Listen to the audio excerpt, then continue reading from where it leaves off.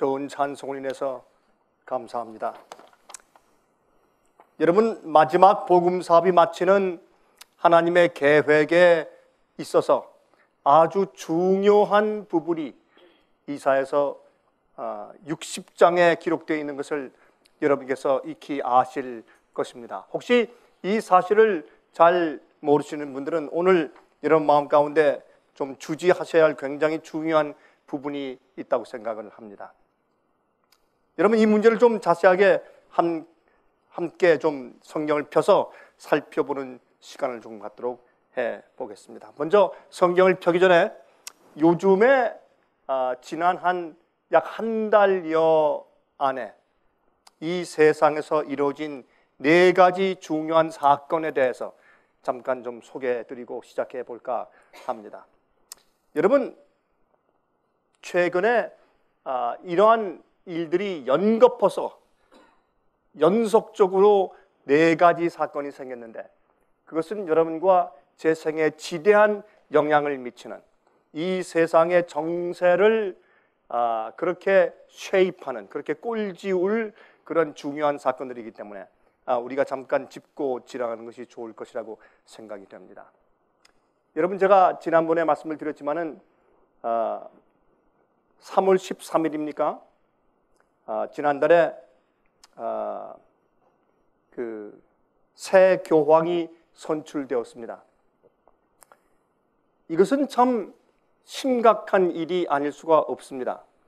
아, 역사상 제수윗이 어, 교황이 된 것은 처음 있는 일입니다. 그리고 조금 이따가 제가 좀 설명을 좀 드리겠습니다만은 그리고 이 아, 지금 바티칸 안에 있는 과학부라고 그렇게 얘기를 해야지 아마 좋겠죠. 특별히 그, 그 안에 천문학을 연구하고 또이 아, 세상의 과학에 대해서 깊은 관심을 가지고 있는 그런 과학부가 있습니다. 여러분 아시다시피 이 정보개통, 정보부는 아, 러시아에 있는 정보부나 미국에 있는 정보보다 부보다 훨씬 더 많은 인원을 가지고 굉장한 일을 벌이고 있는 것이 바티칸 안에 있는 정보부인 것을 여러분께서 혹시 아실는지 모르겠습니다. 그런데 마찬가지로 이런 과학부는 아, 참 놀라운 그런 기술력과 아, 그런 천체 망원경을 사실은 소유하고 있는 것입니다. 그런데 아, 흥미있는 것은 이번에 선출된 교황이 아, 남미의 아르헨티나, 알젠티나 아, 출신인데 그 과학부에 있는 주요 인물들이 아, 알젠티나 출신이라고 하는 것입니다. 근데 왜 제가 이런 얘기를 하는가? 최근에 바티칸에서 이런 이야기를 자주 쏟아내놓고 있습니다. 아, 아, 제가 지금 네 사건을 말씀드린 중이었죠. 예, 이걸 먼저 말씀을 드리고 조금 제가 그 말씀을 잠깐 말씀드리고 이제 말씀으로 들어가도록 하겠습니다. 새 교황이 선출된 일이 있었습니다. 두 번째로 아, 키프로스의 사건을 아시죠? 그것은 영어로 사이프러스. 그것은 지중해에 있는 한 큰 섬이죠. 우리 성경에서는 구브로 섬이라고 어, 불려지는 그런 유명한 곳입니다. 사도 바리 가서 어, 전도 활동을 많이 했던 곳이죠. 근데 거기에서 음, 무엇이 괄목할 만하느냐 하면 이제 어떤 나라가 어떤 중앙 그 은행 제도에서 명령하는 것에 따르지 아니할 때 심지어 그 나라의 개인들의 savings account, 개인들의 예금 구좌까지 들어가서 개인들의 돈까지 가져갈 수 있다는 놀라운 선례를 만들고 말았습니다. 여러분 키프로스가 이 austerity 그 유럽 중앙은행에서 요구하는 그런 방식대로 따르지 않고 사실은 국가 파산의 지경에서 어, 그들이 협력하지 아니하자 이제는 뱅크로안이 생겼죠. 사람들이 전부 다 예금을 찾아내 가려고 달려드니까 잠깐 그걸 중지시키면서 개인들의 구자에 가서 10% 내지 15% 20%의 어, 그 개인 구자의 저금들을 가져갔습니다. 이거는 과거에 있은 적이 없는 놀라운 일이죠. 이거는 공산주의에서도 있기 힘든 그런 일이 생겼습니다. 이런 일들이 앞으로는 세계적으로 경제가 하나가 되어 있고 또 어려운 경제로 치닫고 있는 형편에서 언제든지 어느 나라에서도 일어날 수가 있다 하는 그 굉장히 그 참 우리에게 많은 부담감을 주는 아, 그런 선례를 남기고 말았습니다. 그다음에 금값이 폭락했습니다. 아, 이렇게 짧은 기간 동안에 약한 2, 3주 안에 금값이 19%, 19.5%, 20% 이렇게 금값이 폭락한 것은 지난 1930년도 아, 미국의 경제 공황 이후에 처음 있는 일입니다. 이것은 심각한 일이 아닐 수가 없습니다. 그 이야 그 말은 다시 말해서 성경에 앞으로 금과 은은 아, 가치가 없이 사람들이 두더지에게 금과 은을 던질 것이라. 또 금과 은이 녹슬고 이제 그런 말씀들이 성경에도 기록되어 있지만은 아, 이제 아, 사람들이 정말 의지할 곳이 어디에 있느냐? 또 이 금 금값이 하락한 이유 가운데 하나가 여러 가지 이유를 사람들이 들고 있습니다만은 이 은행의 나라 은행들의 이 paper gold라는 그런 말이 있죠. 아, 종이 금이다. 다시 말해서 정, 이 장부에는 금이 있는데 실제 금이 없는 겁니다. 은행 안에. 그러니까 그걸, 그걸 이제 종이 금이라고 말을 하는 것입니다. 그래서 이 그것을 조정하기 위해서 금값이 떨어졌다. 여러 가지 그런 추측, 추측들이 나돌고 있지만은 이것은 상당히 그 경제적인 지표에 있어서 심각한 일이 아닐 수가 없습니다. 세 번째, 아, 네 번째죠. 네 번째는 아, 이번에 생긴 미국의 보스턴의 마라톤의 어, 테러 폭탄 사건입니다. 여러분 이것은 왜 중요한가 하면 아, 지금까지 미국 안에서 미국 안에서 존재하는 아, 친 알케이다 세력 또친 아, 이슬라미스트, 지하드 그 세력들이 지금 미국에 많이 있다. 언제 어떻게 어떻게 어디서도 터질지 모른다 라고 하는 그런 이야기를 FBI에서 많이 얘기하고 경고해 왔습니다. 그런데 사실 그런 두려움이 이번에 확실한 사실로 증명된 사건이었죠.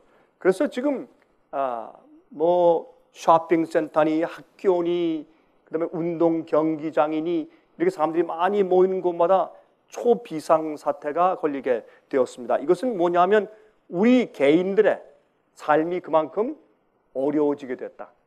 또 여러분 지금 미국에는 아, 개인들의 권리와 자유를 아, 신축하고 또 개인들을 주관하고 관리하고 컨트롤하는 어, 권리를 많이 빼앗아가는 그런 일을 공공연히 벌어지고 어, 있고 또 정가에선 이것 때문에 굉장한 그 말이 아, 오가고 있는데 이제는 어떤 의미에서 어쩔 수 없이 어쩔 수 없이 정말 그렇게 될 수밖에 없는 아, 이제 마지막 시대는 우리에게 질서를 달라 평화를 달라 그 대신 우리의 권리를 가져가라 이렇게 하기 때문에 생기는 것이 바로 마지막 짐승의 표를 내리는 국가의 권, 권력을 인정하게 되는 무대가 된다고 제가 여러 번 말씀을 드렸습니다. 그런 분위기가 아, 미국에 상당히 많이 퍼지게 되고 이제 이것이 더 심각하게 앞으로 진행될 것이다. 그래서 이런 일들은 경제적으로 또 우리의 직접적인 삶에서 성경 예언의 성취에 있어서 굉장히 중요한 사건들이 지난 한 약 한 달여 만에 1년적으로 일어났다. 이것은 어, 그렇게 우리가 쉽게 바라볼 만한 일은 아닌 것 같습니다. 굉장히 어, 우리 그리스도인들에게 있어서는 중요한 사건들이라고 생각을 합니다. 제가 아까 잠깐 설명하고 말았는데 이렇게 해서 이 바티칸에는 어, 이런 과학부가 있는데 거기에서 요즘에 이런 말을 합니다. 아, 제가 다음번 시간에 좀 더 자세히 설명, 설명을 드리겠습니다만은 제가 한 마디 말씀드리면 이제 곧 외계인 가운데서 외계인의 구세주가 지구에 임할 것이다. 여러분, 그 무슨 공상과학 소설을 읽는 것 같죠? 아닙니다. 실제로 그렇게 발표하고 있는 것입니다. 여러분, 이것은 간단한 일이 절대로 아닙니다. 저는 아, 제가 이 TV 방송에서 설교할 때부터 지금까지 여러 해 동안에 앞으로 마귀는 UFO의 모습으로 비행 접시를 타고 외계인의 모습으로 이 지구에 접근할 가능성이 많다는 사실을 제가 계속 경고해 왔습니다. 여러분 그런 일들이 실제적으로 우리 눈앞에서 이루어질 때가 바로 현실이 되었다고 저는 보는 것입니다. 여러분 이런 것들은 우리가 경각심을 가지고 지켜보아야 할 그리스도인으로서 성경 예언을 연구하면서 지켜보아야 할 굉장히 중요한 사건들이라고 저는 생각을 하는 것입니다. 자, 이런 시점에서 하나님께서 마지막 시대 당신의 이 복음 사업, 추수 사업을 마치려고 하시는 그런 관점에서 아주 중요한 부분을 이사야 60장에 기록해 두셨습니다. 우리 그 말씀을 좀 펴서 같이 읽어 보도록 하겠습니다. 이사야 60장입니다. 1절부터 5절까지 있는 말씀을 제가 읽겠습니다. 일어나라 빛을 발하라 이는 내 빛이 이르렀고 여호와의 영광이 내 위에 임하였음이니라 보라 어두움이 땅을 덮을 것이며 캄캄함이 만민을 가리우려니와 오직 여호와께서 내 위에 임하실 것이며 그 영광이 내 위에 나타나리니 열방은 내 빛으로 열왕은 비추는 내 광명으로 나오리라. 내 눈을 들어 사면을 보라. 우리가 다 무리가 다 모여 내게로 오느니라. 내 아들들은 원방에서 오겠고 내 딸들은 안기고 올 것이라. 그때 내가 보고 희색을 바라며 내 마음이 놀라고 또 화창하리니 이는 바다의 풍부가 내게로 돌아오며 열방의 재물이 내게로 옴이라 그렇게 말씀하셨습니다. 이것은 마지막 시대에 대한 예언임에 틀림이 없습니다. 이런 일은 과거에 없었고 이제 앞으로 이루어질 일인 것임에 틀림이 없는 것입니다. 여러분 여기에 우리가 특이하게 생각해야 될 것은 뭐냐면 마지막에 주님께서 이 일을 행하실 때 우리의 자식들이 돌아오는 것입니다. 우리의 흩어져 흩어져 있던 가족들이 돌아오는 것입니다. 이제 그 떠났지만은 그 교회에서 들어두었던 그 부모들에게서 들어두었던 그 빛이 생각이 나서 그 빛으로 빛으로 돌아오는 것입니다. 이런 마지막 사건을 여기 하나님께서 어, 심지어 기록해 두셔서 우리 마음 가운데 위로하시는 것을 볼 수 있고 그때 우리 마음 가운데 크게 희색을 바라며 마음의 즐거움이 있을 것이라고 말씀을 했는데 어떤 일 때문에 어떤 마지막 사건을 어떻게 이루실 것이기 때문에 이런 일이 생길 것인가 여기에 세 가지 사건을 우리가 특별히 주목해야 할 것입니다. 첫 번째 우리가 일어날 것이다. Rise and shine. 일어나라. 빛을 발하라. 여러분, 빛을 발하는데 우리가 빛을 발하려고 애쓰는 것이 아니라 아니 빛을 발하게 돼요. 우리가 일어나서 빛을 발하는데 왜 그 이유가 우리 속에 빛이 있기 때문에 아닙니다. 여호와의 영광이 우리 위에 임했기 때문에 자연히 우린 일어나서 빛을 발하게 되는 것입니다. 또 또 한 가지 괄목할 만한 사실은 그때는 어두움이 이 세상을 가득 채울 때입니다. 깜깜함이 세상을 가득 채우기 때문에 빛은 어둠을 몰아내는 것입니다. 어둠은 빛을 이길 수가 없습니다. 그래서 여호와의 영광이 우리 머리 위에 임해서 우리가 자연히 일어나 그 빛을 발하게 되는 것입니다. 일어나면 자연히 빛이 나가게 되어 있어요. 이것은 우리 속에 빛을 만들어내는 것이 아니라 하나님의 영광의 빛이 우리 위에 임했기 때문에 우리 보고 일어나라고만 따라고 주님께서 말씀하시면 일어나면 그 빛이 온 세상에 비추는 것입니다. 그때는 세상에 깜깜한 진리가 없는 하나님을 모르는 어두움이 정말 마치 까만 장례식보가 관을 덮은 것처럼 이 세상을 덮어 있는 그런 형편인 것을 여기 말씀하고 있는 것입니다. 이러할 때 자연히 열방이 그 빛을 향해서 그 빛을 향해서 나올 것이라고 그렇게 성경에 예언되어 있는 것을 우리가 볼 수가 있습니다. 자, 여기서 우리가 먼저 좀 이해해 보도록 하십시다. 여기에 무슨 빛을 발하라는 말입니까? 우리 위에 임한 하나님의 영광이 무엇이길래 일어나서 빛을 발하라고 말씀을 하셨냐 말입니다. 자, 우리 그것을 좀 간단하게 생각을 좀 해보도록 하겠습니다. 이사야 43장 7절입니다. 이사야 43장 7절에 무릇 내 이름으로 일컫는 자, 무릇 하나님의 이름으로 일컫는 자, 여러분들이 어떤 환경 가운데 계시든지 슬프든지 어렵든지 여러분들이 어떤 입장에 있든지 여러분은 하나님의 이름으로 일컫는 자입니다. 여러분들이 현대 진리를 받아들이고 이해하고 그대로 살려고 최선을 다하고 여호와의 이름을 부르면 여러분은 하나님의 이름으로 일컬음을 받는 자입니다. 그것은 중요한 것입니다.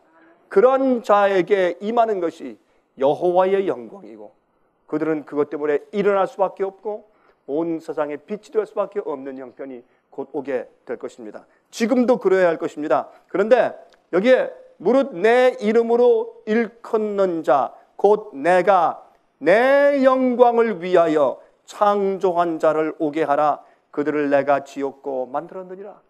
오 하나님께서 당신의 백성들을 지으셨는데 여기에 이제 구약 성경은 물론 이스라엘 백성들을 처음으로 언급하신 것이죠. 그러나 이스라엘 백성들이 실제적으로 하나님의 영광에 빛이 못, 되지 못하고 그들이 심지어 오신 예수 그리스도 메시아를 십자가 못 박아 죽인 다음에 그들이 선택된 민족에서 떨어져 나가 그들이 버림받았습니다. 그 이후에 모든 그들에게 속한 조건들과 모든 특권들이 사실 하나님의 교회로 넘어간 것을 우리가 잘 알고 있는 것입니다. 여러분 그런 상태에 있을 때 여기에 있는 이 말씀도 하나님의 교회에 주님의 참 백성들에게 모든 교인들이 아니라 정말 여자의 남은 자손 하나님의 계명을 지키며 예수 믿음을 지키는 자들 정말 하나님의 진리를 믿고 있는 자들에게 적용되는 말씀인데 하나님께서 그러한 자들을 만드셨다. 내가 내 영광을 위해서 창조한 자들을 오게 하라. 여러분 여기서 우리가 한 가지 분명히 이해하고 지나갈 것이 있습니다. 그들을 내가 지었고 만들었다. 다시 말해서 우리가 주님을 믿게 된 것은 주님이 우리를 부르신 것이지 우리가 찾아 믿은 것이 아닙니다. 여러분 하나님이 우리를 먼저 사랑하셨지 우리가 찾아서 하나님을 사랑한 것이 아닙니다. 우리가 먼저 찾고 찾아 진리를 깨달은 것이 아니라 주님께서 환경을 인도하시고 우리에게 진리를 주시고 빛을 주셔서 깨닫게 하신 것이지 우리가 한 것이 아닙니다. 우리가 믿어 구원받은 것이 아니라 주님이 은혜로 우리에게 구원의 손길을 베푸신 것입니다. 주님이 우리를 창조하시고 만드셨는데 주님의 영광을 드러내기 위해서 주님께서 계획하시고 만드신 것이지 우리가 선택한 것이 아닙니다. 여러분 여기에 앉아 있는 분들이나 말씀을 화면을 통해서 보시는 모든 분들은 사실 여러분들이 애쓰며 애쓰며 방황하다가 진리를 발견한 것 같지만 그럼 우리가 하늘에 가서 알게 될 것이나 많은 천사들과 성령의 역사와 하나님의 계획 속에서 우리를 인도하시고 그렇게 될 수밖에 없게 절실한 마음을 주셔서 깨닫게 하시고 믿게 하신 것은 하나님이시라 그 말입니다. 주께서 창조하시고 주께서 이렇게 만드셨습니다. 주께서 이렇게 인도하셨습니다. 모든 것이 하나님이고 하나님이고 하나님이십니다. 이 사실 우리가 인정하고 이해할 때 우리 마음 가운데 진정한 찬송이 있을 수가 있습니다. 많은 경우에 우리가 그렇게 찾고 찾고 찾다가 우리가 발견한 것 같지만 찾고 찾는 마음을 주신 분도 하나님이시요. 발견하게 하신 분도 하나님이시요. 그렇게 콘으로 모셔서 우리가 주님을 찾아서 쫓아오지 않으면 못 견디게 하신 분도 하나님이시고 여러분 마지막에 돼지를 치면서 그 쥐염 열매를 그 먹으며 돼지와 밥을 다투던 탕자가 그 처절함 속에서 그 외로움 속에서 일어나서 아버지를 기억해서 돌아오게 하신 분도 아버지였습니다. 사실은 탕자가 아니었습니다. 그런 마음을 넣어주신 분은 바로 탕자의 아버지였습니다. 내가 아버지께로 돌아가리라 했어요.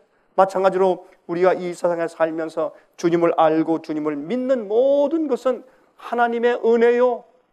하나님께서 당신의 영광을 위하여서 그렇게 창조하시고 만드셨다는 사실을 우리가 매일매일 우리가 깨닫고 알아야 할 것입니다. 여기에 여기 또 이사야 49장 6절에 말씀했습니다. 그가 가라사대 내가 나의 종이 되어 야곱의 지파들을 일으키며 이스라엘 땅에 보존된 자를 돌아오게 할 것은 오히려 경한 일이라 내가 또 너로 이것은 이스라엘 백성들입니다. 오늘날 이 시대에 살고 있는 참으로 영적인 이스라엘 백성들 여자의 남은 자손이라고 일컫는 진실된 현대 진리를 믿고 있는 자들 그런 자들에게 말씀하기를 내가 또 너로 너로 이방의 빛을 삼아 나의 구원을 베풀어서 땅 끝까지 이르게 하리라. 하나님께서 이스라엘, 이스라엘 백성들을 구원하신 것은 그들을 죄로부터 해방시킨 것은 출애굽시키신 것은 그들을 광야에서 계속 인도하신 것은 그들에게 계명을 주신 것은 그들에게 새 언약을 베푸시고 그들에게 메시아의 예언을 주시고 살게 하신 모든 일들 그것은 사실 우리가 영적으로 우리에게 모든 영적인 그런 경험들을 다 예표하는 것들이죠. 그 당시 실제 사건들은 우리가 경험하는 영적인 그런 경험들입니다. 자, 주님께서 그렇게 하신 이유는 너로 이방의 빛을 삼게 하기 위해서. 우리는 모든 세상 사람들에게 빛이 되어야 합니다. 근데 무슨 빛이 어떻게 할 때에 간단한 이야기지만 우리가 다시 짚고 지나가고 이해해야 할 부분입니다. 그러므로 여호와의 영광이 너희 머리 위에 임하였으니 일어나서 빛을 발하라. 무슨 빛을 어떻게 주님의 영광이 어떻게 임하였는데 주님의 영광이 무엇인데, 무엇인데 하는 것을 우리가 이해해야 할 것입니다. 고린도 후서 4장 6절부터 10절입니다. 고린도 후서 4장 6절부터 10절에 어두운 데서 빛을 비추리라 하시던 그 하나님께서 태초에 청질 창조하실 때 빛이 있으라 말씀하신 그 하나님께서 예수 그리스도의 얼굴에 있는 하나님의 영광을 아는 빛을 우리 마음에 비치셨느니라. 이 하나님의 영광은 하나님의 마음입니다. 하나님의 성품입니다. 하나님에 대한 지식입니다. 이건 하나님의 빛입니다. 우리의 빛이 아닙니다. 성경에 있는 빛이 아닙니다. 물론 성경 빛이지만 그러나 여기에 있는 것은 하나님의 영광입니다. 하나님의 성품입니다. 여러분, 이것을 아는 분은 예수님이십니다. 예수께서 하나님 아버지의 영광을 우리와 나누어 주시기 주기 위해서 이 땅에 오셨습니다. 하나님을 아는 그 지식을 우리에게 가르쳐 주기 위해서 오신 것입니다. 하나님 아버지가 어떤 분이신지 우리에게 보여주기 위해서 이 땅에 오신 것입니다. 여러분, 예수님은 살아계신 아버지였습니다. 여러분, 예수님은 아버지와 동등한 분이었습니다. 아버지를 아시는 분은 예수님이셨습니다. 그래서 예수께서 이 땅에서 오셔서 어떻게 상해하시고 어떻게 사람들을 취급하시고 어떤 말씀을 하셨는지가 하나님 아버지를 아는 영광이었습니다. 그 지식이었습니다. 여러분 그래서 예수 그리스도의 얼굴에 있는 하나님의 영광을 아는 빛을 우리 마음에 비추셨다 그랬습니다. 우리가 그 빛을 받은 것입니다. 예수님을 통해서 주의 말씀을 통해서 성경을 통해서 우리가 이 보배를 질그릇에 가졌으니 우리 몸을 질그릇이라고 사도 바울은 그렇게 설명합니다. 우리는 금방 깨어져서 불에 태워져 가루가 되어 없어질 그런 질그릇입니다. 여러분 질그릇은 그 속에 아무거나 집어 넣을 수 있는 값싼 그릇입니다. 가치가 없습니다. 금그릇도 아닙니다. 은그릇도 아닙니다. 놋그릇도 아닙니다. 그것은 질그릇입니다. 그냥 던지면 깨져서 아무 가치 없이 밖에 버리워질 그러한 질그릇입니다. 그러나 그 질그릇에 무엇을 두셨습니까? 하나님의 영광을 두셨다. 어떻게? 하나님의 영광을 아는 예수의 빛을 우리 마음 가운데 주셨기 때문에 우리가 우리 마음 가운데 그것을 담았습니다. 그게 복음이고 그게 진리입니다. 그래서 우리가 하나님의 영광을 아는 빛을 우리 마음 가운데 비추셨다. 어떻게? 예수님을 통해서. 그렇게 사도 바울은 설명한 것을 알 수가 있어요.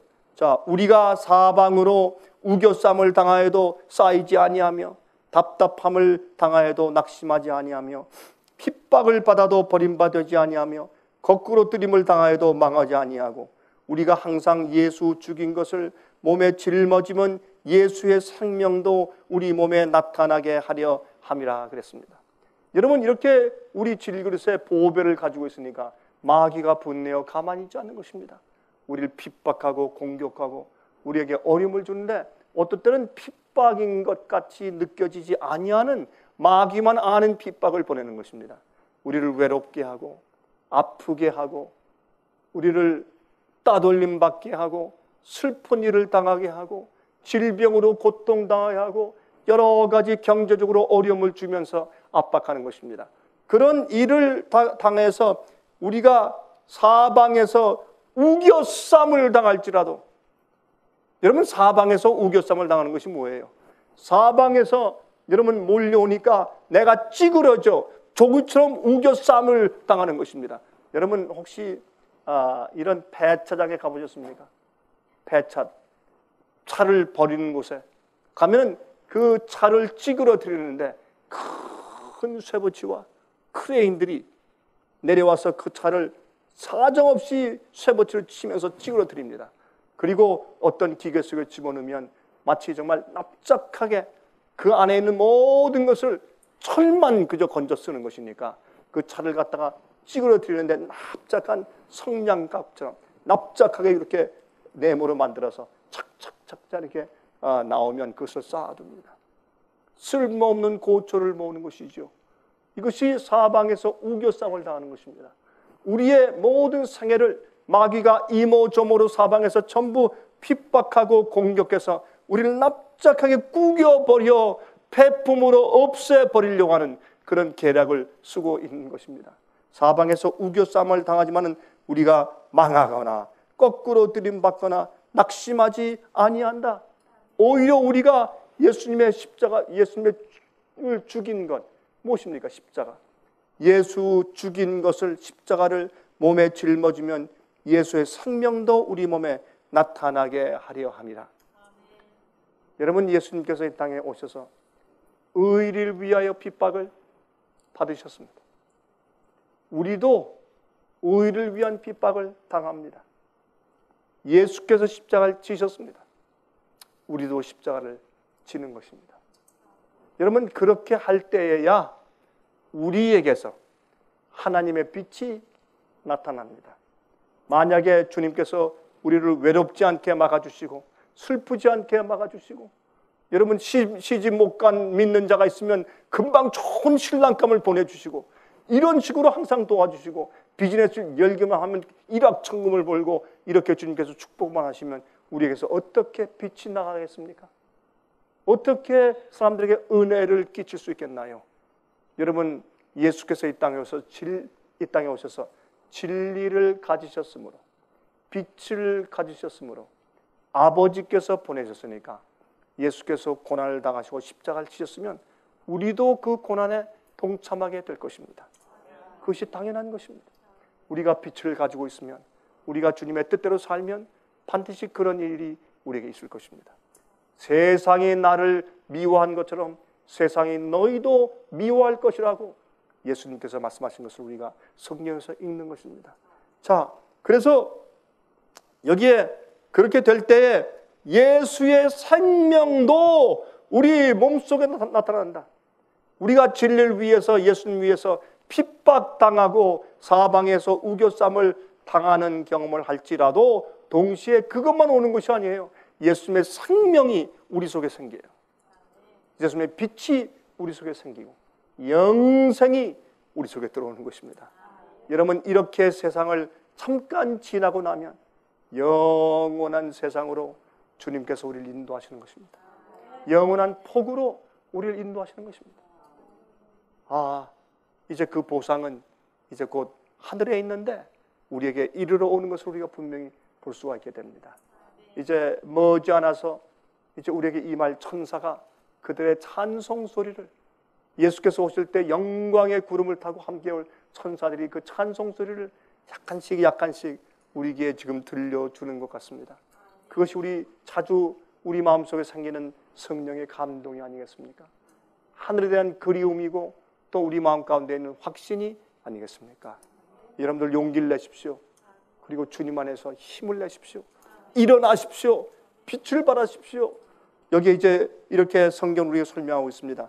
자, 그러면 이게 지금 궁극적으로 뭘 말하는 것인가? 이것은 깜깜하여진 세상에 캄캄하여진 세상에 하나님께 대한 오해가 이 세상을 새까맣게 덮어 놓았을 때그 위에 빛을 발해요. 어떤 빛? 하나님을 아는 빛. 하나님의 영광, 그분의 성품의 빛으로 세상을 비추는 것이에요. 그때 정말 빛을 사모하는 자들, 어둠을 깨뜨리고 나오고 싶어도 빛을 잘 모르는 자들이 그 빛을 보고 기뻐서 그들이 빛을 향하여 향하여 달려오게 된다. 그것이 여기 예언되어 있다고 말입니다.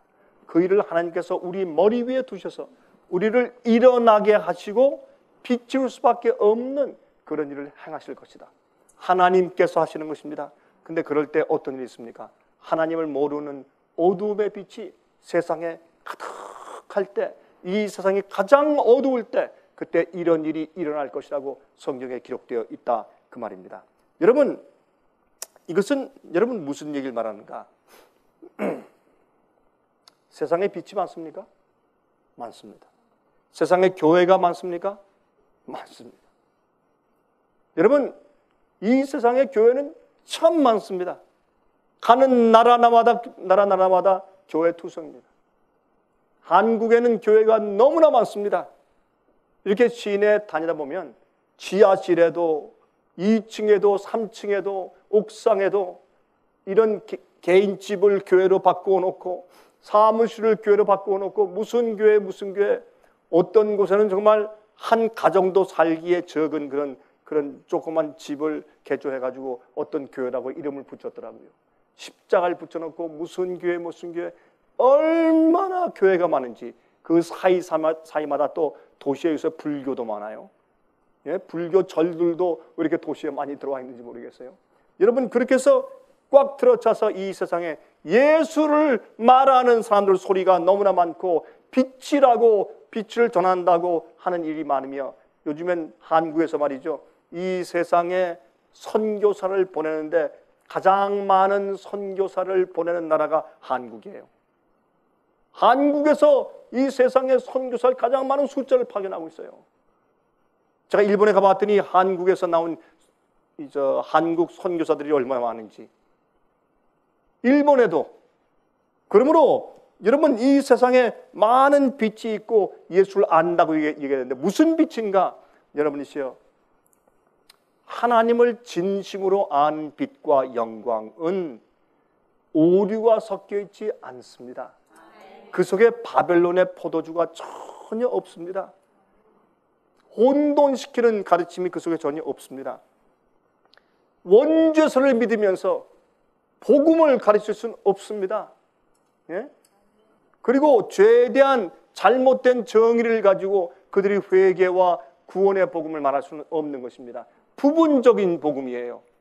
여러분 영혼 불면서를 믿으면서 사람이 죽자마자 천당 가고 지옥 간다고 믿으면서 그렇게 가르치면서 영원한 복음을 올바로 믿을 수가 없습니다.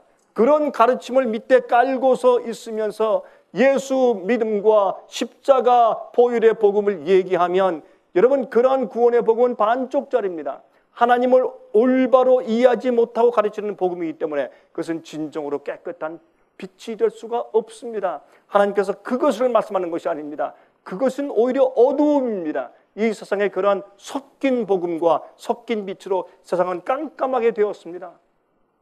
여러분 그리고 영혼이 불타는 지옥설 그런 것을 믿는 것을 바탕으로 깔고서 예수 믿고 십자가 보혈의 복음을 이야기하면 그것은 타협된 복음입니다. 여러분 하나님을 올바로 알지 못합니다. 하나님을 오해하는 복음입니다. 무서워서 믿게 하는 복음입니다. 여러분 그것은 복음이고 빛인 것 같지만 그것은 빛이 아닙니다. 하나님을 아는 영광의 빛이 아닙니다. 예수님 안에 있는 진리는 섞임이 없는 것입니다. 깨끗한 것입니다. 밝은 것입니다. 밝은 참빛은 조그만 성냥불 하나라도 어둠을 내어 쫓는 것입니다.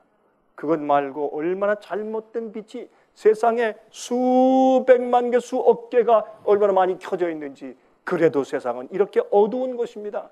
깜깜함이 세상을 둘러차 있습니다. 왜?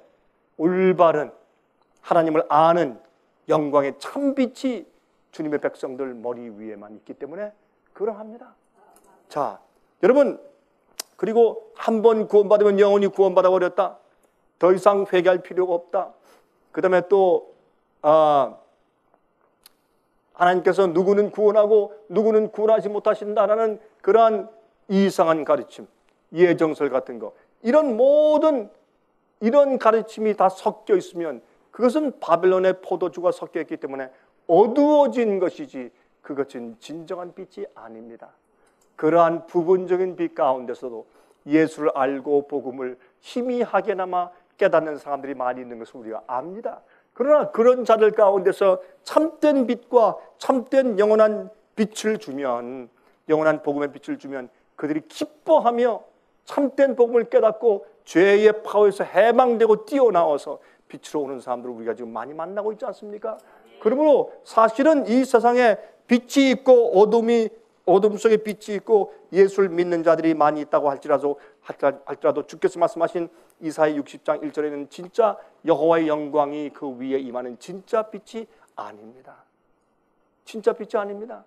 지금은 교회가 너무나 많고 예수가 그렇게 많고 또 가르침이 복음이 그렇게 많고 선교사들이 그렇게 많을지라도 이 세상은 영적인 깜깜함으로 가득 차 있습니다.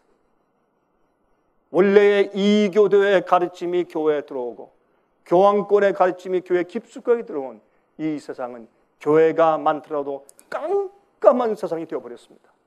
이때 누가 일어나 여호와의 영광의 빛을 가지고 세상을 비추겠습니까? 이것이 하나님의 계획이고 주님께서 그 일을 이제 행하시고 있는 것입니다. 그러므로 사실은 바벨론의 포도주를 폭로하고 오류를 폭로하고 진리를 가르쳐 주는 빛의 역할이 있어야 합니다. 그리고 잘못된 타협된 반쪽 복음에서 진정으로 사람들을 죄의 속박에서 구원하는 하나님의 진정한 구원의 구속의 복음 이야기, 진정한 영원한 복음을 심판이 섞여 있고 또 주님의 지성소의 기별도 섞여 있는 정말 진정한 복음, 사람들을 죄의 파워에서 해방시키고 변화시키는 복음, 죄와 마귀의 시험에서 그들을 보호하는 참된 복음을 가르쳐 줄 때야 만이 그것이 참 빛으로 세상에 나가는 것입니다. 이러한 일들로 세상에 빛이 되어야 합니다. 빛을 주고 가르쳐야 합니다. 여러분 또, 자, 그러므로 일어나라, 빛을 발하라. 이는 내 빛이 이르렀고 여호와의 영광이 내 위에 임하였음이라 하는 말씀이 무슨 뜻인지 아는 것입니다.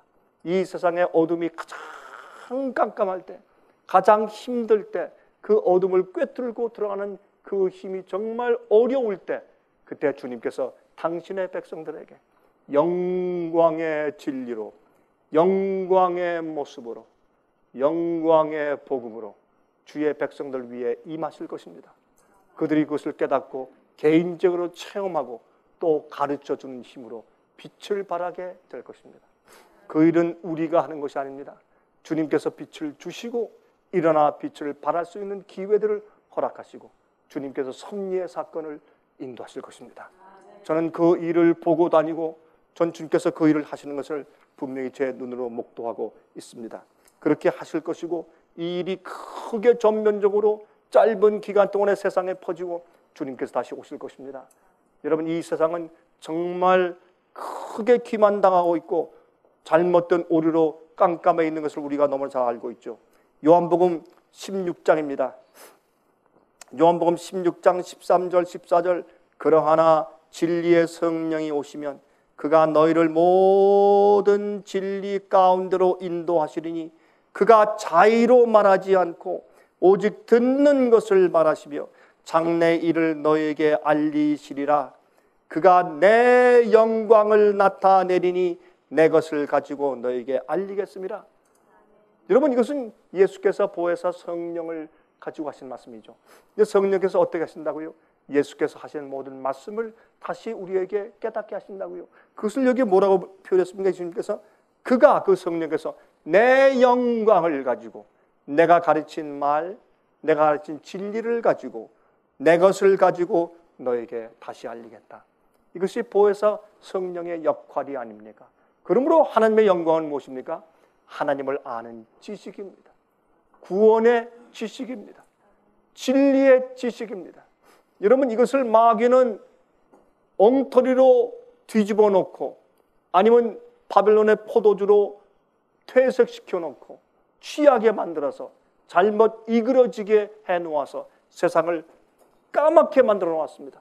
어둡게 만들어 놓았습니다. 여기서 주님께서 이 진리를 회복시키실 것입니다.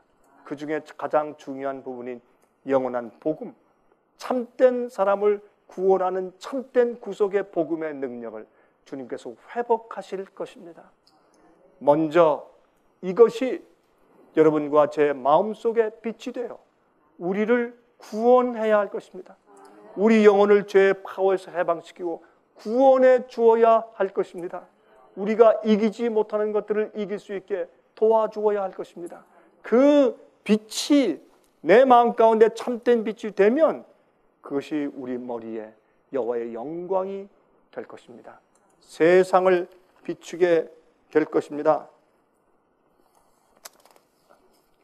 여러분 요한복음 17장 17절부터 22절에 이런 말씀 있습니다. 저희를 진리로 거룩하게 하옵소서. 아버지의 말씀은 진리이다.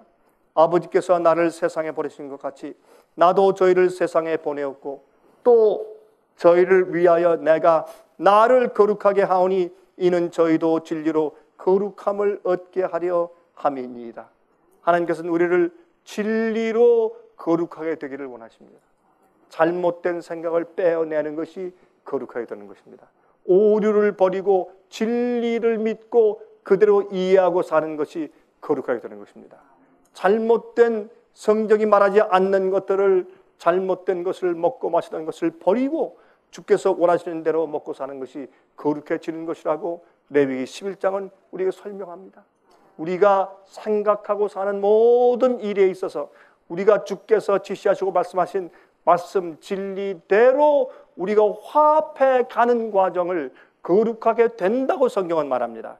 그것은 우리가 어떤 환이나 어떤 그런 예, 흥분 상태에서 우리가 들어가는 것이 아니라 우리의 실제 생활이 진리화 되는 것입니다. 진리대로 변하는 것입니다. 진리대로 우리가 바꿔지는 것입니다. 그것이 하나님의 거룩함을 우리가 본받는 일입니다. 예수께서 말씀하십니다. 하나님 아버지시여 저들을 진리로 거룩하게 해달라고. 여기에 19절에 이렇게 말씀했습니다. 또 저희를 위하여 내가 나를 거룩하게 하오니 이는 저희도 진리로 거룩함을 얻게 하려 함입니다. 내가 비옵는 것은 이 사람들만 위함이 아니요 또 저희 말을 인하여 나를 믿는 사람들도 위함이니 아버지께서 내 안에 내가 아버지 안에 있는 것 같이 저희도 다 하나가 되어 우리 안에 있게 하사 세상으로 아버지께서 나를 보내신 것을 믿게 하옵소서. 내게 주신 영광을 내가 저에게 주었사오니. 여러분 예수님께서 제자들에게 무슨 크리스마스 카드에 있는 뭐 이런 머리에 있는 동그란 광원들을 다 달아주었습니까? 아니지 않습니까? 하나님 아버지에 대해서 가르쳐 주셨습니다. 섞임이 없는 깨끗한 진리의 말씀으로 가르치셨습니다. 이것을 예수님께서 내게 주신 영광을 내가 저희에게도 주었다. 그렇게 말씀했습니다. 여러분 그러므로 여기 계속 말씀하시기를 이는 우리가 하나가 된 것 같이 저희도 하나가 되게 하려 함입니다. 우리가 진리로 하나가 되어야 합니다. 그때 진정으로 서로 사랑할 수가 있습니다. 진리로 우리가 거룩함을 받아야 합니다. 그럴 때 그 진리의 빛이 여호와의 영광이 우리 위에 임하는 것이고 우린 일어나서 그 빛을 세상에 어두워진 세상에 비추게 되는 것입니다. 이 일을 주님께서 지금 행하시고 있고 앞으로 크게 일을 행하실 것입니다. 그리고 우리가 생각지도 못하는 단순한 방법들을 통해서 주님께서 사업을 마치시고 이 땅에 다시 오실 것입니다. 우린 이것을 믿어야 할 것입니다. 저는 요즘에 제가 이런 얘기를 여러 번 반복해 오니까 저한테 그래요. 목사님 작년에도 똑같은 얘기 하셨는데요. 3년 전에도 집회 왔다가 목사님 얘기 똑같은 얘기를 들었는데요. 그래서요. 어쨌단 말이에요. 어쨌단 말이에요. 내가 120년 동안 외친 건 아니잖아요. 지금까지. 아직 120년 안 됐어요. 어떤 의미에서? 예수님 속히 오십니다. 저는 요즘에 주님께서 정말 문 앞에 와 계시고 이젠 정말 갑자기 어떤 사건이 생길 것이고 이 세상에 주님께서 놀라운 일을 빨리 신속히 하신 다음에 주님께서 오시겠다라는 것을 요즘처럼 그렇게 간절하게 느낀 적이 없습니다. 주님 오십니다. 이 세상은 다녀보니까 정말 깜깜한데 그 중에 빛을 찾는 영혼들이 있어요. 빛을 가진 자들이 있어요. 주님께서 당신의 백성들과 교회를 버리지 않으셨어요. 하나님께서 역사하실 것입니다. 이제 곧 임하실 것입니다. 여러분 우리가 심실하게 주님의 오심을 믿고 우리가 견디고 진리대로 살고 진리를 전해야 할 것입니다. 우리가 하는 모든 일과 계획이 하나님의 진리를 전하는 일 속에 포함되어 있어야 할 것입니다. 여러분 이제 주로 장례식에 가면 어, 그런 일들을 하죠. 아 유족들이시여 또 여기 조객들이시여 염려하지 마십시오. 너무 슬퍼하지 마십시오. 여기에 있는 이 장로님의 영혼은 이미 저 하늘에 가 있습니다. 여기 있는 이 여집사님의 영혼은 이미 저 하늘에 가 있어서 지금 우리를 지금 내려다보고 있습니다. 걱정하지 마십시오. 만약 그것이 사실이라면 여러분 그 하늘에 올라가서 가만히 보니까 자기 남편이 마음 변해서 다른 여자고 또 사장갈 가네. 그게 천국이 되겠느냐고 그게. 그게 말이 되는 얘기예요. 너희가 한 세월 동안 산 그 생애를 끝마치고 너희가 땅 속에서 쉬라. 주님께서 그래서 이 저 죽은 상태를 잔다, 쉰다 라고 표현했습니다. 잠들었다. 그렇게 우리가 표현해요. 여러분 그런데 자지 않고 죽었는데 영혼은 또 깨어 있어. 올라와서 보니까 아이들이 그대로 고생해. 예? 왕따 당해. 이러니 그 엄마 아빠 마음 가운데 쉼이 있겠느냐고요. 우리가 상식적으로 생각해 보십시다. 그러면 하늘에 가서 구름 위에 떠 있다. 가서 뭘 하고 있냐 말이에요. 주님을 찬송하고 있다. 쉬어요 좀 쉬어. 찬송하는 것도 힘드니까 언제까지 주님께서 새 몸을 주셔서 새 영혼을 가지고 성도들과 함께 영원히 찬송할 그날까지 의인들이 부활하여 올라올 때까지 살아있는 영혼들은 살아서 새 몸을 받고 성전할 때까지 그때까지 쉬어요. 땅 속에서 무덤이 딱 닫아두면 쉬어요. 오랜 잠을 자요. 그게 참 쉼이고 안식이지. 그 다음에 깨어나서 주님을 만나는 건 아니겠습니까? 그게 성경 진리예요. 이런 진리가 어두운 잘못 믿는 사람들에게 빛이 된단 말이에요. 그런데 이런 엉뚱한 것을 믿고 있으면서 난 복음을 알고 예수님의 십자가로 구원받았다 하면 그 구원의 경험은 부분적이란 말이에요. 그것은 하나님을 모르는 일이란 말입니다. 하나님에 대한 오해가 있는 것입니다. 여러분 사람을 죽여서 없애지 않고 지옥불에 쳐넣어가지고 10만 아, 년 태웠다. 차라리 날 죽여주십시오. 안 된다. 미안하다. 네가 60년 동안 내가 기회를 줬는데 안 믿었잖아. 그건 60년 아닙니까? 전 10만 년 동안 탔습니다. 안 된다. 미안하다. 한 1억 년 더 타라. 1억 년 지난 다음에 제발 날 죽여주십시오. 아직 안 된다. 영원히 타야 되겠다. 이게 괴물이지. 이게 하나님이냐고. 그럼 무엇 때문에 창조를 했느냐고요 도대체. 세상에 이런 괴물을 만들어 놓고 영원 지옥설을 만들어 놓고 하나님을 안다 그러고 그리고 거기다가 또 예수님의 십자가 사랑을 이야기하면서 구원 받으라고 얘기해요. 이런 엉터리 진리가 어디 있느냐고요. 이걸 얘기하면 또 성경의 또 기본적인 교단의 가르침을 반대한다고 핍박을 해 또. 이게 예수님의 빛입니까 도대체? 예? 예수님께서 맨 마지막에 천년기 이후에 이 땅에 태어난 모든 자들이 한꺼번에 다 일어날 것입니다. 이 땅에 한번 태어났던 자들은 그곳에 다 한꺼번에 같은 장소의 지구에 있게 될 것입니다. 그때 악인의 부활에 일어난 자들은 그들이 가지고 있던 늙은 몸, 병든 몸, 쭈글쭈글한 몸 그대로 일어나서 그들이 그 흉악한 모습을 보고 이게 어떻게 된 노릇이냐? 내가 부활을 너무 천년 늦게 했는가? 그리고 그들 가운데 마귀가 있는 것을 보고 그들이 깜짝 놀라게 될 것입니다. 그리고 저 새 예루살렘 성 안에 있는 의인들과 천사를 보면서 그들은 기가 막히게 후회할 것입니다.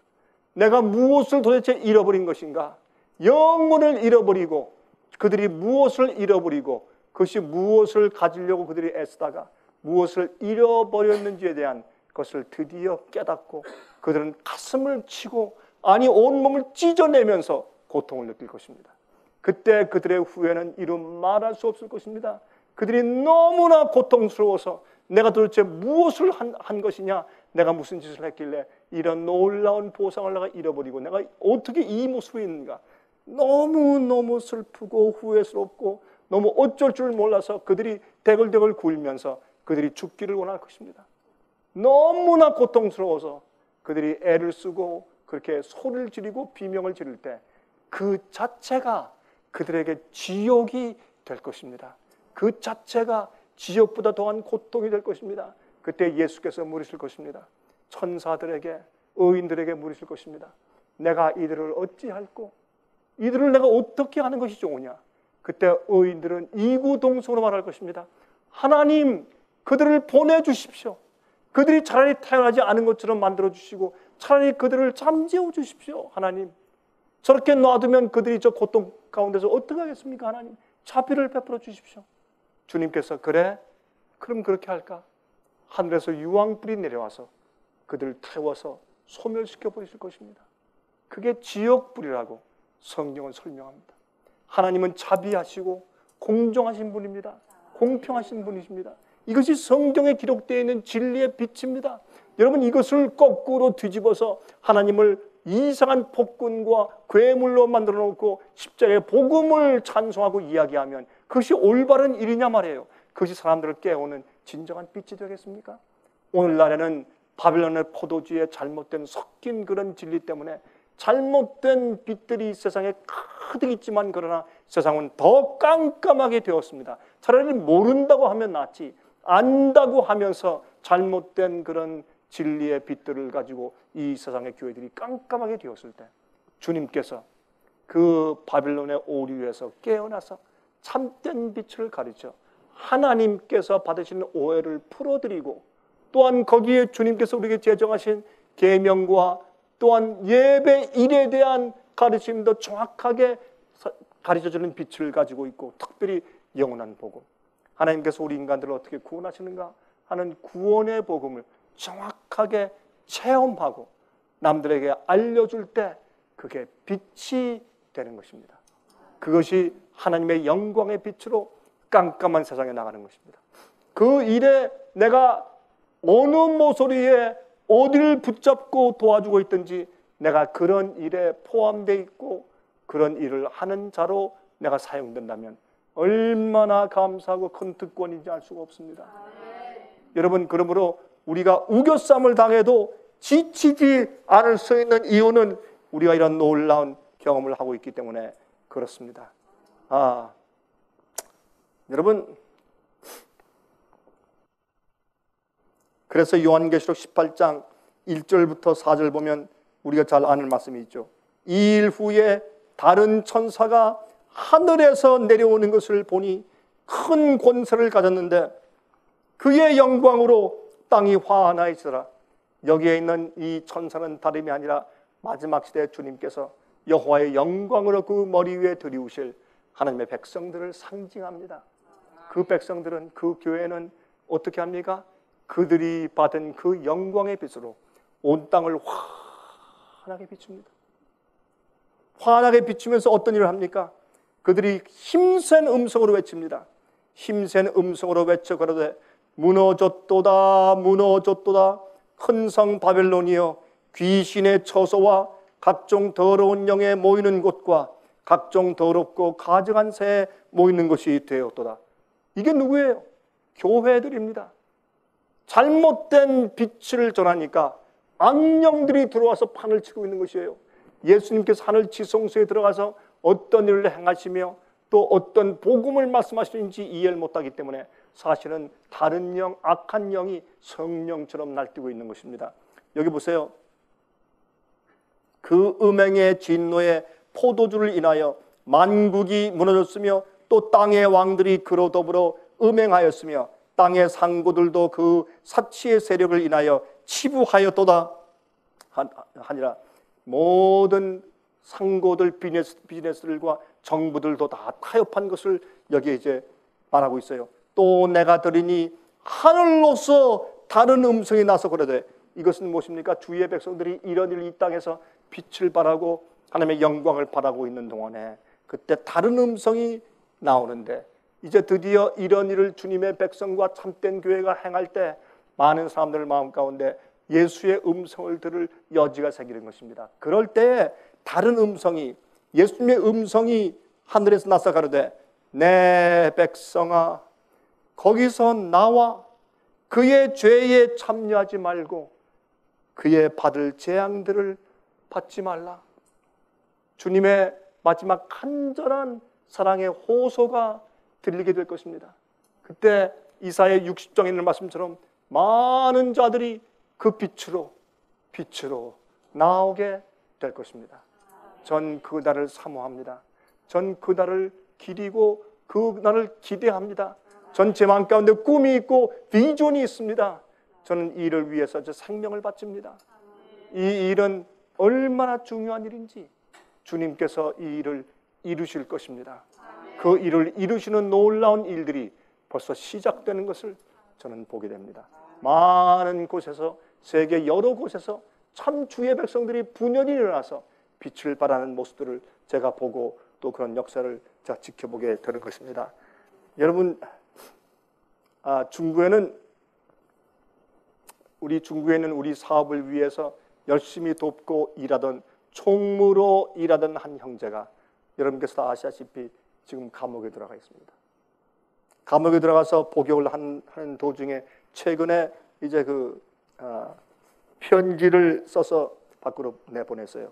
그 편지에 이렇게 말을 했습니다. 나는 과거에 주의 말씀을 먹었을 때, 읽었을 때, 그 말씀이 내 생에 진짜 떡이 되고 생명이 되고 파워가 된다는 것을 내가 잘 몰랐었습니다. 내가 감옥에서 살면서 그것이 무슨 뜻인가 너무너무 뼈저리게 제가 느끼며 살고 있습니다. 이 감옥에서 살면서 어떤 때는 정말 무기 사형수, 살인 죄수 이런 아주 극악한 사람들이 언제 어떻게 할까 혹시 해를 가해오지 않을까 하는 두려움으로 가끔씩 제가 몸부림을 치게 됩니다. 그런 일들이 실제 있습니다. 그리고 참 분위기가 험악할 때도 있고 참 어렵습니다. 그럴 때마다 제게 필요한 위로는 뭐냐면 하나님의 말씀입니다. 빛입니다. 어둠이 깜깜한 곳에 저는 빛이 필요합니다. 제가 성경을 읽을 시간이 없습니다. 아침부터 밤까지 일을 시키는데 피곤해서 어떤 참 힘듭니다. 그래서 짬짬이 쉬는 시간에 화장실을 가면서 잠깐 제가 이 시간이 날 때 얼른 얼른 제가 성경을 조그만 성경을 펴서 이게 잠깐 잠깐 읽는 그 주의 말씀의 맛, 그 달콤한 맛, 그 빛이 내 영혼에 들어와서 실제 파워가 되는 그 경험.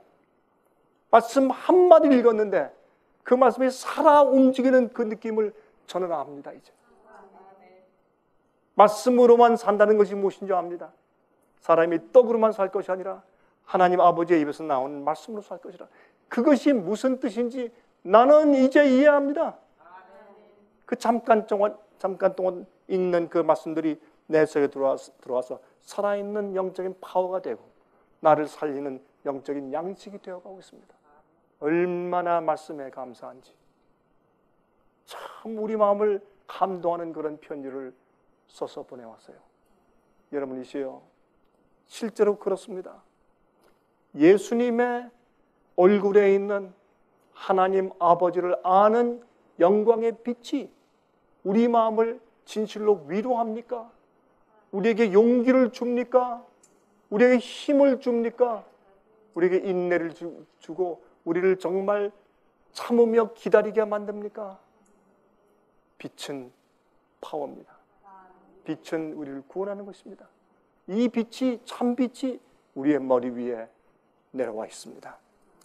여러분 실물 교훈에 있는 말씀입니다. 이것은 영어로 Christ Object Lessons라는 참 귀한 책인데 이 책에 있는 이 책에 있는 내용을 우리가 그 예수님의 그 비유의 복음 복음을 우리가 아, 책으로 만들어서 우리도 이제 편찬하고 있죠.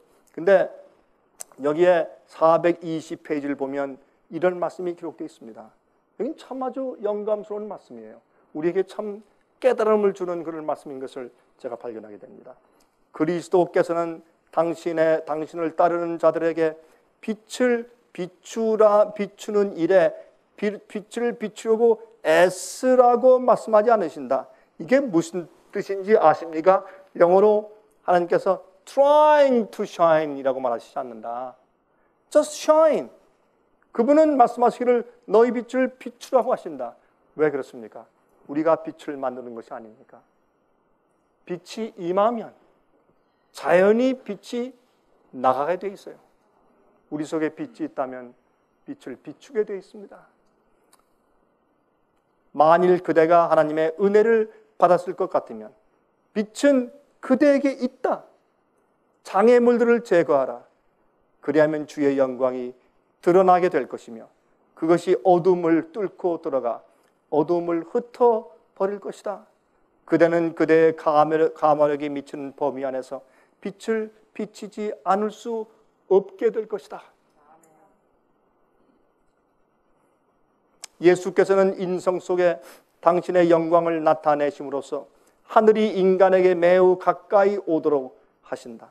그리하여 내적 성전을 단장하는 아름다움이 구주께서 거하시는 모든 사람의 심령 속에서 나타나게 될 것이다.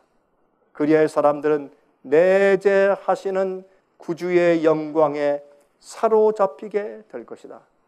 이와 같이 하여 하나님께 이끌림을 받은 많은 영혼들에게서 흘러나오는 찬송과 감사의 조류를 타고 그 영광이 모든 것을 주시는 하나님께로 돌아가게 될 것이다.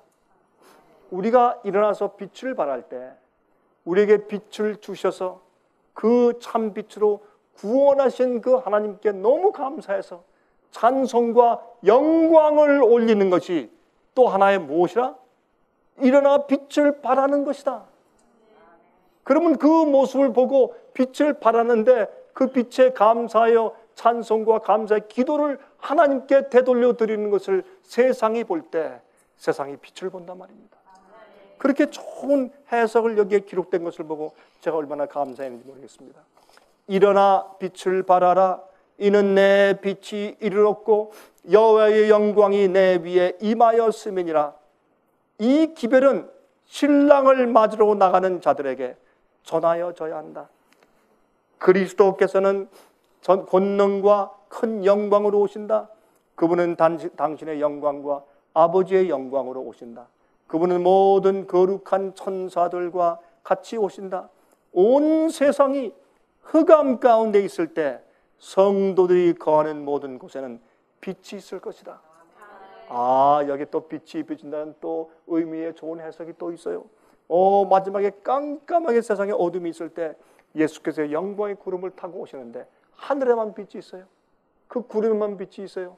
그런데 이 땅에 주님을 기다리고 있는 무리 무리들에게 빛이 있을 것입니다.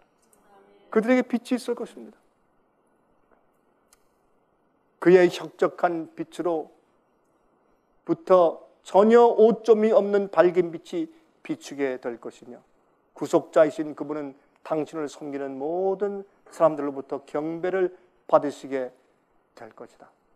그들은 아 그전에 한 문장을 빠뜨렸어요. 그들은 그리스도의 재림의 영광의 빛을 누구보다도 먼저 보게 될 것이다. 아 여기에 또 이런 이런 또 해석을 하셨어요. 그리스도께서는 당신의 신실한 제자들에게 날마다 만나는 매우 친밀한 친밀한 친구가 되셨다. 그들은 하나님과 매우 긴밀한 접촉을 가지고 항상 하나님과 교통한 생애를 살았다. 저희 위에 여호와의 영광이 비추었다. 예수 그리스도의 얼굴에 나타난 하나님의 영광을 아는 빛이 저들에게서 반사되었다. 이제 저희는 위엄을 갖추고 나타나시는 만왕의 왕의 광채와 영광의 빛 가운데서 즐거워한다. 그들은 이미 하늘과 어울릴 준비가 되어 있었다. 이미 그들은 마음으로 하늘을 누리고 있었기 때문입니다. 여호와의 영광으로 우리는 하늘을 누리고 있어야 합니다. 그그 빛이 우리 마음 가운데 가득하여 내 영혼을 하나님께 감사하게 하는 찬송으로 가득하게 하고 내 영혼을 그 복음으로 구원할 때에 우리는 어둠 속에 사는 빛입니다. 우리에게 이미 임한 빛으로 온 세상을 환하게 하시기를 간절하게 바랍니다. 기도하겠습니다. 자비하신 하늘에 계신 우리 아버지 하나님, 주님의 은혜를 감사합니다. 우리를 택하시고 이방인의 빛으로 삼으신 것을 감사합니다. 우리가 부족하나 주여 주님의 섭리와 능력으로 이 일을 이루시옵소서. 그리하여 일어나 빛을 발하는 그 일이 이 세상에 이룰 때에 그때 우리를 아는 우리 가족들과 아는 사람들과 많은 자들이 빛으로 빛으로 돌아오게 하시옵소서. 그들이 한 번 들었던 알던 그 빛, 빛으로 돌아오게 하시고 이 어둠에 쌓이는 많은 사람들에게 큰 소망을 주게 하시옵소서. 하나님 아버지시여 주님의 은혜를 감사하고 찬양합니다. 우리 마음속에 하나님을 더 많이 알게 인도해 주시옵소서. 살아계신 예수 그리스도의 거룩하신 이름으로 간절하게 기도합니다. 아멘.